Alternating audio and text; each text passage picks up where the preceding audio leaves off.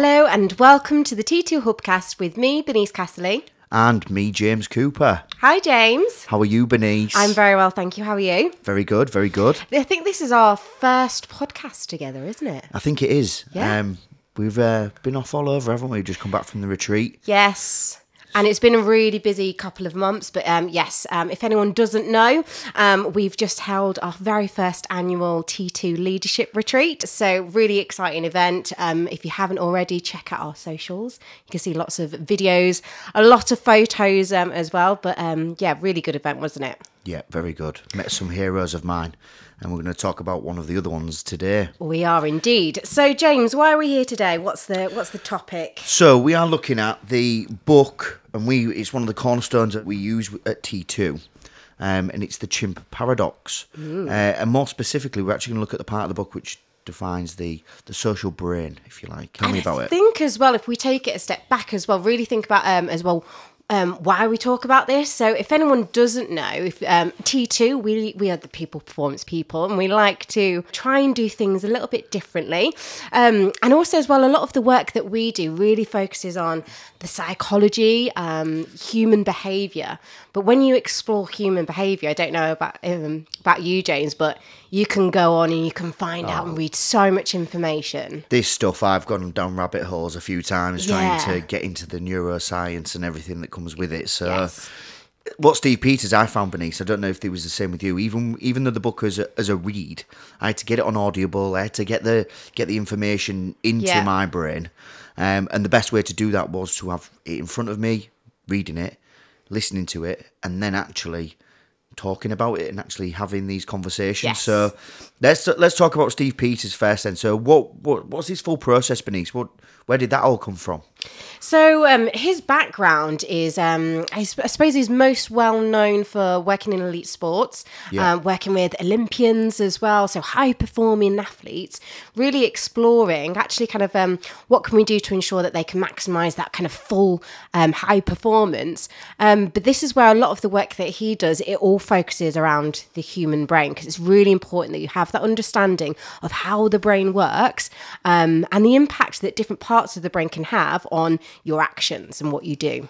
Okay, so let's talk about the actual testing process and what Steve Peters talks about. So, and again, we're going to chip into these different things. And if anybody hasn't read the book, this is going to be a little bit of a whistle stop tour Yes. on how Steve Peters has done his testing, conducted his research, and then the findings that he's got from that as well. So, hopefully, by the end of this podcast, we'll be giving somebody somewhere a little bit of a toolkit to how to maybe deal with their chimp a little bit. And if you haven't read the book, then obviously that sounds quite strange. Yes. Um, but we'll we'll get into the detail of it. So first of all, let's talk about the testing process. So Steve Peters being the one that uh, measured the actual blood flow around the brain when people uh, put into different scenarios and asked different questions. Um, but what was his findings, Bernice? What, what what did he find?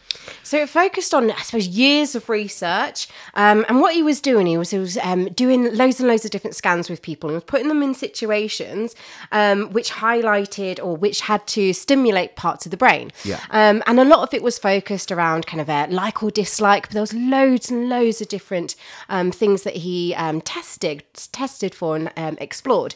But what he actually found is that in certain situations or things that stimulate an emotional reaction, three parts of the brain kept increasingly increasing with blood flow, and that was a case of it. It was three parts of the brain that were lighting up, um, and this is where he then kind of um, took off and explored this what he calls the social brain. Okay, right then. So let's get into the detail of it. So we're measuring blood flow around the brain when we're asked questions, when we're put in certain situations. So the first part that we talk about in Leading Yourself workshops, the frontal lobe, which, how does he describe that, Bernice? He calls it the human. Ooh, nice. It's now, just you. if we talk about this, it's it's around the logical and rationale. So, in charge of being logical and rational in the way that you react. So, when this part of the brain is flooded, it is right at the front of your head. So, it's just behind your forehead. And again, the key thing to remember about this is that when we are asked questions, it's the amount of time that it takes for the human to be engaged. Mm. And we are going to talk about the timings and, and working towards that actual how do I manage the chimp, but without understanding the human first. Yeah. Because the chimp is a little bit stronger and it is a little bit faster. So we're going to get into that as well. So first of all, frontal lobe. Steve Peters describes it as the human, and it doesn't engage until one minute thirty or ninety seconds, whichever Yes. one you want to consider, whichever one works for you.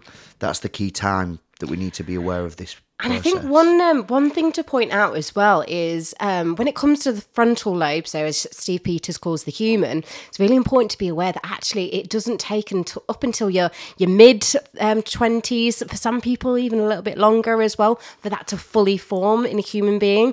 So if you think about that in regards to let's think about kids, for example, when kids trip up and fall over, you get immediate emotion, immediate tears um, in certain situations where you get frustrated and you think, oh, why can't you just? Where's where's the common sense? Where's the logic? It was really interesting to know that that part, the part of the brain that's responsible for all of their formed, logic, right? it's not fully formed. So if we if we then take that up to teenage age groups and and we're looking at people that are around their teenage years, what happens then? It's like do this, telling people to do things or clean your bedroom, whatever it was. And I'm a perfect advocate for this. is that I was being told off quite a lot of the time when I was younger because I just didn't do what I'd been told to do. No.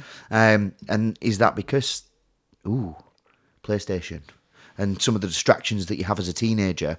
Whereas if you was thinking about getting things done and having the best way of working and having to adapt in that way, then yeah, you you're still not even fully formed. So that's why you start to lose your. I like doing this. I don't like doing this. I don't like. Well, all right, Dad, calm down. but the reactions could be more emotions and feelings. So what we're describing there then is um, the second part of the brain that Steve Peters talks about, which is The chimp. the chimp. So we're actually looking at the limbic system here. Um, now, if everybody that's listening to the podcast, just scrumple your your fist together and make a fist, and make sure your thumb just goes underneath your fingers. Now, if you open up your hand, you've got you've got the frontal lobe, which is obviously at the front of your knuckle. You've got the um, parietal lobe, which is uh, towards the back or center of the brain. But actually, if you open up your fingers, that small amount of space in, that you've just left with your thumb, that's the easiest way to describe the chimp and where it sits within your brain. Yes, Okay. perfect. Just a little reference for everybody there. I like it. I was doing my little fist there, following along with you, James, as well. So the limbic system, so um, very kind of small, sits in the the center of the brain. So what is it responsible for? Ooh, we're going to get emotional. And we're going to start talking about our feelings because that is what it's in charge of. It's in charge of your emotions and your feelings. Yes. Um, and remember, this is in the first 0.5 to 10 seconds. If your chimp is, or that area of the brain, that limbic system is being triggered and being having that reaction, being flooded with blood, that's when you start to see people get very emotional and maybe start to lose control of the feelings a little bit. Um, but what does that look like? Um, and we always ask the question of what really triggers that limbic system. Um, and I'd like everybody that's listening to maybe start thinking about those. So, Steve Peters, he mentions in the book about not letting your chimp out in a supermarket. And, why shouldn't we do that? Well, if you think about this in a professional context, if you get that email, and we and I know that I've I've suffered this in the past, is that when that email comes in at five to five, and you're leaving at five o'clock, and you're going to have to reply to it, and it's somebody attacking your process or attacking something that you've done, or maybe even some potential negative feedback. Mm-hmm. What are the reactions from people? Yeah. Now, if your boss that's just sent that email is sat in the next room, and all they hear, all they hear is maybe oh, voice increase, mm-hmm. tone, maybe some colourful language, Yeah. which we're not using anymore on the podcast for me and Bernice anyway. So if it is that you start to look at those things and you start to hear that, that could cause maybe a relationship to maybe fall by the wayside. I can or think of someone that I used- respect. Yeah, I can think Mm. of someone that I used to work with. Whenever he was frustrated, whenever something happened, it was like an immediate kind of the, the chimp's been tri- Yeah. triggered, emotions and feelings,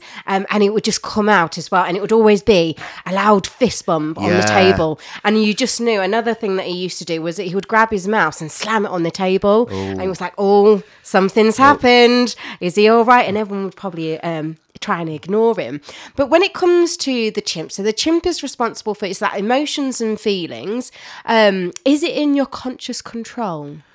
So we can talk about the the first five and that timing is that what will happen is, and we're going to come to the parietal lobe in a second, but the chimp is it's that initial knee jerk reaction, and the reason Yes. for that is because there's three things that will basically make your chimp react, um, and the purpose is really for. Well, we won't be here if it wasn't for these things. Yes. So the first one is survival. It's in charge of survival, looking after you, keeping the species going. Um, the second one is your basic reproduction and having people that again are going to have those relationships and be able to keep the species projecting forward. Because obviously, if we don't have those relationships, we don't necessarily carry Mm-hmm. Circle on of life Yeah, that's that. it. And we'll, and we'll leave it there. Thank you very much, Yeah, that's Bernice it's not that type of podcast. and then yeah, and then the then the final part is, and we talk about this within the leading yourself workshop as well, is your sense of purpose. Now, what gets you out of bed? Why do you do things the way that you do them?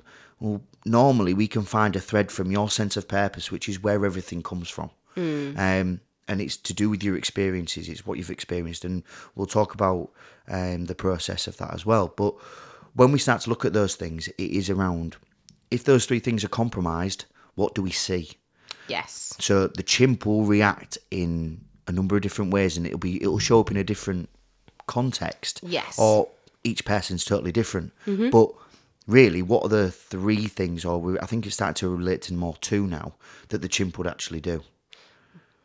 Yeah. So if you think of um, the chimp, then so um, so why is it called the chimp? Why does Steve Peters call it the chimp? So that chimp is as the same as a chimpanzee in the wild, and it was great to listen to any of the podcasts that that Steve Peters does. Um, but the chimp or chimpanzee is five times faster and five times stronger in real life than a human. Yes. and that's where the analogy comes from. Yes. Um, and so this is why, um, so James has just been exploring kind of the three reasons why it's five times faster, five times stronger than, than the human. So if we explore that then, so um, the first reason it's five times faster, five times stronger is for survival. So I suppose if you think about kind of um, in today's world, we probably um, don't really have kind of in our day to day lives life or death situations. But I suppose if you think right back to, I don't know, let's say that we're we're in caveman days. Yeah. So what might that look like? Ooh, it's a big scary saber tooth tiger, Bernice. Oh my goodness. It is, and it's it's it's kicking out, kicking into our cave, Yeah. and it's maybe putting us in very much three states, if you like. So it's fight. Yes. that's quite small saber tooth tiger. I can fight that one, and it looks quite strong. yummy. And I've also got the the flight function, which would then be run fast, get away, hide, or the freeze function. Hmm. Now, freeze is is between the fight and flight, if you like. Yes. Um, but Steve Peters does recognise it as a as a as a reaction for the chimp.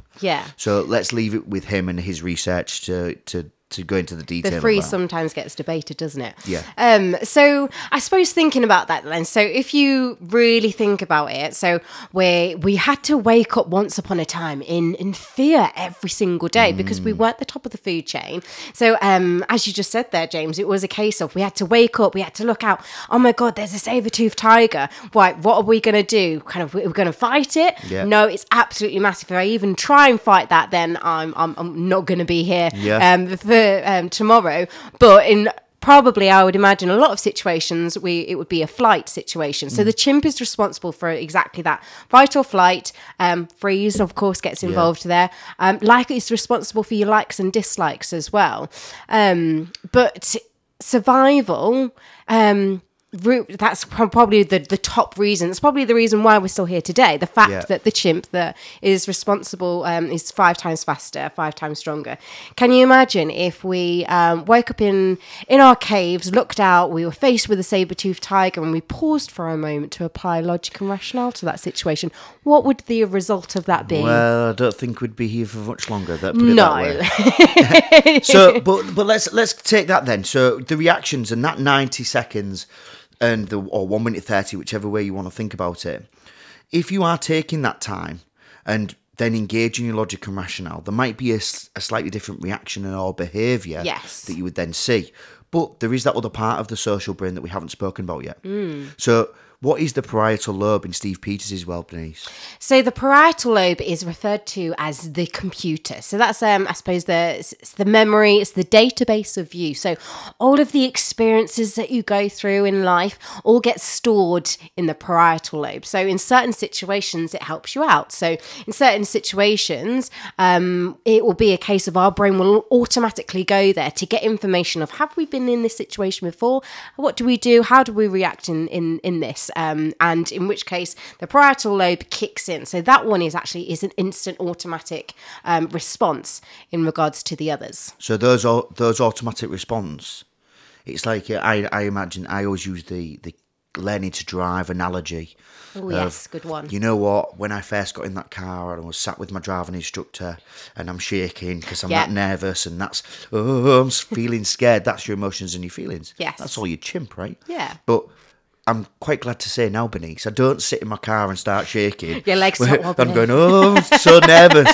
So what that describes as, as as building those those memories, if you like, Hmm. and how they come forward now. If we talk about from a computer and a parietal lobe point of view, is they're now what Steve Peters describes as autopilots. Yes. And they're the things that just happen. Yeah. Because you've done them over and over again and, Yeah. and it happens and you can you know how this is gonna run out. I know how to drive to work. Yeah. I can I know the exact route I'm gonna go every single day. I can probably guarantee that at least one of our listeners right now is listening to this podcast whilst driving along in their car, and we've probably just made them think, "Oh, actually, hang on, um, yeah, how did I get here?" And just driving along, you're in autopilot. Yeah, It's a, and it's a it's an interesting concept for people to understand is that well when was the first time that you you've experienced something and it just happens it just Yes. happens and you go oh well how has that happened and what happens at work is it that you fill out a spreadsheet and it's just you've say, you've filled out this same spreadsheet Yeah. again and again and again and again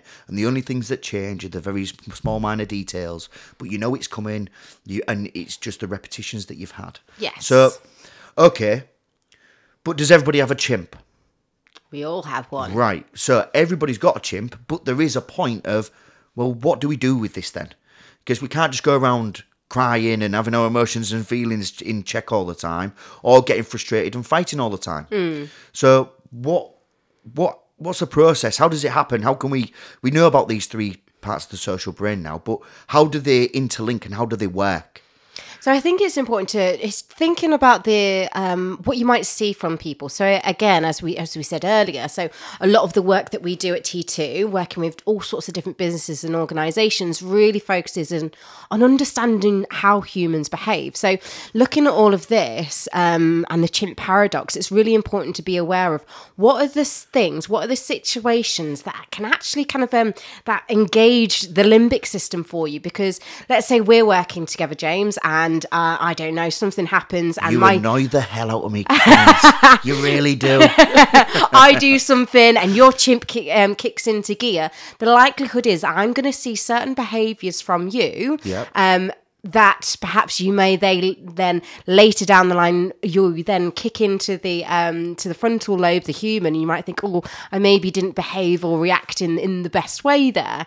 Um so that's where it comes really important because if you're working in a business in an organization where everyone is almost continuously almost feeling as though they're they're at risk and the the survival's been triggered the chimps in flight then it's going to be a really dysfunctional place to work because you're going to be seeing all of this these people just running off off their chimps people are going to be clashing it's really important that we have awareness of actually not only understanding how all of this works, but then also as well being aware of what are the situations that do trigger our chimp and actually how do we manage it. So, what's the first bit of advice we're gonna? People are listening to this now and saying, right, I'm very chimpy.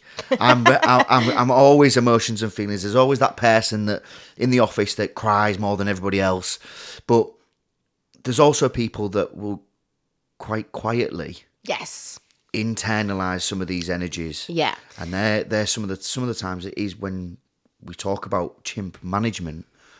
What advice can we give to people? Yeah, and I think you make a really good point there as well. Just to expand on that, is um, when when something when you're in a situation and the limbic system kicks in so for some people they will externalize it. So that might be that you you see that frustration. That might be that person slamming their fist on the table. But for some people as well it's a case that they internalize it because that's just how they're wired. Yeah. but it's still you might see what um tracy she likes to call it facial fireworks. You might see that that frustration or that stress or that fear what, or anxiety whatever however it shows up you might see it on their face or for some people it's it's the internal narrative that's going on inside their brain and that still has a significant impact on what shows up and how that person then behaves or what they do next Sometimes that planned someone's demise. oh yeah Oh, the, Yeah. it's a little bit, little bit dangerous for me. That Yeah. when I don't like talking about it too much. Yeah. When I've upset, I'm, I'm trying not to upset many people, but if I have upset someone, do I, do they have the open and honest conversations Mm. after one minute thirty once they've engaged that logic and rationale, yes or do they keep it inside? And basically, what Steve Peters says is boxing the chimp. yeah Now, for some people, and I don't know about you, Bernice, but I find this so hard do you so hard because Yeah. I am that I am the facial firework. facial fireworks If- externalize if you've it upset me, yeah you're gonna see it you can see it clear as day. yeah What about you? Um, I think it depends on the situation. Um, I think my face often gives it away if I am frustrated. um, I've been told that in the past, but that's something that I try and be quite conscious of. Yeah. My face in such certain situations when I am um, a little bit frustrated or or annoyed. Um, but I like to think that I have a very good ability to try and box it, as Right. Steve Peter says. Don't don't exercise it in Yeah. uh, in a supermarket. Um, but I think as well, it depends on who you're around and what the situation is. Okay, so then the next one, then. So you're better at boxing it than I am. The next part, and we've just touched on it there, is not exercising your chimp or exercising your chimp. Now, Yes. what what type of environments am I going to pick to do this? Because we've said that loads of people are real chimpy, Hmm. but when's the best time to exercise your chimp? So again, it's probably going to be different for different people, but um, it's really important that you do exercise the chimp and let off that steam or frustration, or just externalize it and talk it through with people. Yeah. Um, for a lot of people, that is um, with the people that are closest to them. So for you, gotta James, trust 'em, right? Exactly. So it's Yeah. that trusted person. So for you, it might be you get home um, and you speak to your partner. Yeah. Yeah, and that's where you can you can talk about it. Yeah. For some people in the workplace, it might be that they've they've there's a peer or a colleague that they work with where they've got that real strong bond and that that level of trust that they can talk openly and honestly about certain situations. And just understanding that they're not going to get thrown under the bus. Yeah, there's say. there's no judgment, or also as well for sometimes it might be that I I'm exercising my chimp, I'm talking about that level of frustration or whatever it is that I'm feeling, um, and sometimes it's a case of I need you to just listen because I just need to talk about it. Sometimes it's a case of I need you to listen to me, James, but I really value and want some advice on how to deal with this situation because I'm really up here right now. and there's quite a bit of balance to that as well. And when when we start to look at who do you go to, so for the, everybody that's listening now, who can you vent to? Who Yeah. can you who acts as a bit of a soundboard for Yeah. you? And that's totally totally up to the relationships that you have with the people that are around you. Yeah, They- and it's not a forced thing. There'll be people that you will go to hmm. to have that conversation. Yeah. And whether it's a family member, I know that if I've had a, a tough a tough week, I'll always just try and sound off away from home. So I can might go to my parents and just have that have that conversation Yeah. first, and then I've provided clarity, and then I can go back home to my house and go. This is this is where I'm at. Yeah, and it's important to think as well that for other people, so if you kind of um if you flip it, some people see you as that person. Yeah, so be aware of actually for some people it is a case of when they feel as though um that's been triggered, emotions and feelings, they need to exercise it. That they come if they're coming to you to to be able to do that, ask them the question, do you want me to listen or, or what do you want from me? How how can I Yeah, good support you with this um, because that's really going to help make a difference because sometimes people do just need to exercise it and let it all off because something that we do talk about with a lot of um, the people that we work with is the danger is yes know when and where to exercise it but it's important that you do that because otherwise you might just end up boxing it and boxing it, and then what happens? The kettle breaks and you Yeah. lose your mind. Yes. it just kind of it, then one small thing happens and Yeah. then boom, you let it all out. And the likelihood is that um, the person seeing all of that is the person who probably least need, not needs it. I can't think of the right word, but they're the person who's probably done one tiny small little thing and then Yeah. bam, it all comes out because it's been building and building. So, so there we go then. So the the final bit of advice we can offer, and what Steve Peters offers as well, is that when you are in these environments and you are, you know that the that meetings come in with a certain individual, or mm. from you know that you've been under quite a bit of pressure, stress, fear, anxiety, all those things that we sort of talk about when we talk about cortisol. And if you haven't had a little look at that, then have a look at our um, our chemical soup podcast, which is coming soon as well. Um, and that that point being, what can I do in the moment when I can't exercise it and I'm finding it really hard to box it? Yeah. What might be the other the one other thing that Steve Peters offers? So the third method is to distract it. So it's to do something where you can completely kind of um, distract from it. And there's loads of different um, ways that people do this. For some people, it might be doing something physical. Um, so for some people, it might just be if you're in a situation, being able to just stand up and, and remove yourself from the situation. But of course, that's not always Yeah, an that's not option. going to work in a meeting, right? Bernice? Definitely. It isn't going to be a case of we're in a big project meeting and you're criticizing my team and my chimp's activated. I can't just walk out. I mean, I could, but it's not going to be productive in that moment. Okay. So what's your advice? So my advice is for me, I think what works really well is having that good level of um i suppose self-talk being very aware of when that happens what's actually running through your mind so what are the what are the statements what's it telling you is it is it a case of um oh james is telling me that my team are rubbish. He thinks that we're really bad. And um how dare he come come and talk about um my team? He needs to think about his own own team and all of those things whatever it is that's going on in your head. You need to almost pause take a moment ABC it, so acknowledge it, accept it, breathe, because it's really important that we breathe because scientifically it's proven that breathing lowers the levels of cortisol. the amount of running oxygen, in, right? Increases the oxygen. Okay. C is control. So really important to breathe, calm down, because then what you can do is you're giving yourself time to engage the human, which is the the part of the brain that's responsible for Yeah. all of your logic and rationale.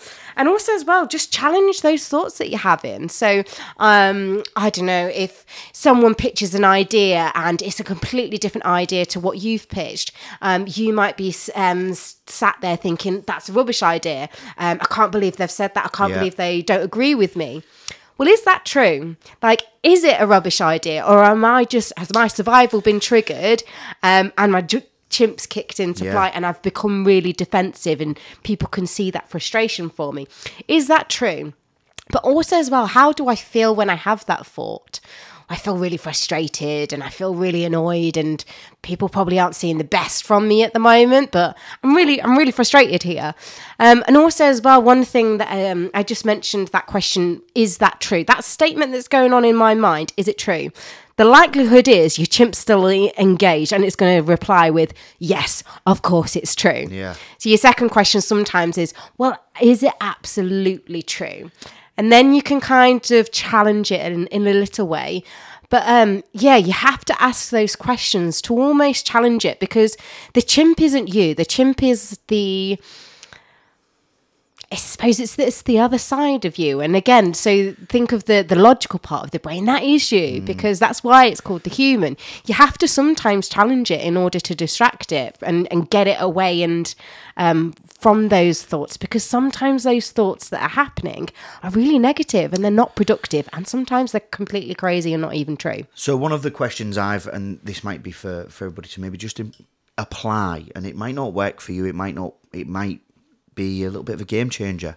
So when you're in those environments and you're having those meetings, and I'm attacking your team, Bernice, How dare what you? what what if I tried to give you a little bit of a tool? So if I said, you know what, take notes, and take notes to the point where it is the detail you don't want to miss. Don't miss any detail. Yeah. Don't miss a thing.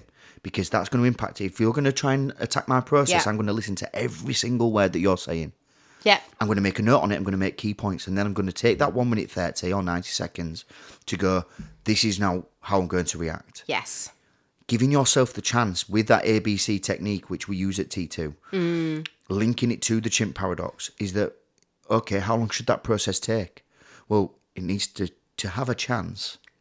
It might be that you just give yourself that one minute thirty Yeah. when possible, by the way. Yes. And it's not going to happen every time. You're No. not saying that. But having that question, making sure you're distracting your chimp by taking notes Yeah. or having that process in place that you know you're coming into this situation. Mm. You know you're going to go into that meeting. You know that there's been there's there might have been mistakes made. Yeah. So how does that make you feel? And what is your reaction going to be about maybe rehearsing, having that conversation, Yeah. like you said, with the chimp Yeah. to go, okay, we feel like this. I accept that situation. I'm going to breathe about one minute 30. Yes. And then I'm going to control what I can control, which the first thing is yourself. Mm-hmm. Okay. So a little bit of a link of a thread between the two. So what I just think now, Bernice, is that if we can start to just wrap this up. So three things that you need to remember about the social brain in the in a in a quite a quick quick fire round and a bit of a summary of what we've talked about. So the social brain, first one, frontal lobe, the human. Yeah. Okay, what's it in charge of? Responsible for all of your logic and rationale. Okay, limbic system, which is the chimp. Responsible for emotions and feelings. Okay, and the parietal lobe, the computer. Yep, that's the database. That's the memory where all of that is stored. Okay, now we're going to talk about managing the chimp. What are the three things that's that it's important for the chimp to protect? So it's the survival, reproduction, and sense of purpose. Yeah. If any of those three things are compromised, what are the reactions? Yep. So then the, the chimp's going to kick in, but um, and as well, five times faster, five times stronger because of those three reasons. Yeah, okay, Yep. yep, covering that. And then those reactions, so it's fight, flight, or sometimes freeze. Yeah, and it's responsible for like and dislike, friend or foe. So Yep. think about those situations where you meet someone and your brain will be scanning. Do we like this person? Do we not? Okay. Yeah. Bernice, I think we've covered that in just as much detail. There might be a second podcast on this. Yeah, because I think as well, it's just um, it's having that conscious awareness of it because the chimp isn't always in our con- conscious control. Mm. So I think if we were to give anyone just a piece of advice, would be really think about this. Think about the Yeah. times when your chimp is activated, and really think about what can I do to better manage that. You can't get rid of it, but how do I better manage that, and how do I stop myself from just immediately running around and just reacting to things? Okay. really think is that productive because i like to think um, the chimp is your reactions if you give yourself the opportunity to engage the human have your logic and rationale you can then think about the outcome that you want from that situation Yes. how do i respond accordingly to get that because if you just run around just with your, your chimp exercising it off in the supermarket you're just reacting to stuff and the likelihood is it's not going to be productive Bernice, I'd like to say thank you. It's been a pleasure. First podcast together. i know i've enjoyed Um, it and I think I think if we can go forward, brilliant. Let's have it. Let's let's not wait too long before we get behind the microphones. no we'll be back soon for another t2 hubcast Goodbye. Thanks, James. We are going to explore print. What are you talking about? What's print? Print is this fantastic model that we use with a lot of our clients. It's all about unconscious motivators. So it's a model based on motivations that are responsible for our thoughts, for our feelings, for our actions, because they operate at that deeper level. If you really want to take it to the next level in regards to your self development, whether it be for you as an individual, for your team, for your organization, then get in touch because we'd love to help support. When I say it's changed my life, it really has. You guys need to get in touch with the T2 Towers. Yeah. Um, send an email, follow us on social media. Thank you very much. I'm James Cooper. And I'm Bernice Casserley. Are you a fan of our podcast? If so, make sure you're following us on all of our social media channels. You can find us on TikTok, Instagram, YouTube, Facebook, LinkedIn, and Twitter by searching Trans2 Performance. By following us, you'll have access to exclusive content, special announcements, and more. Join the T2 community today.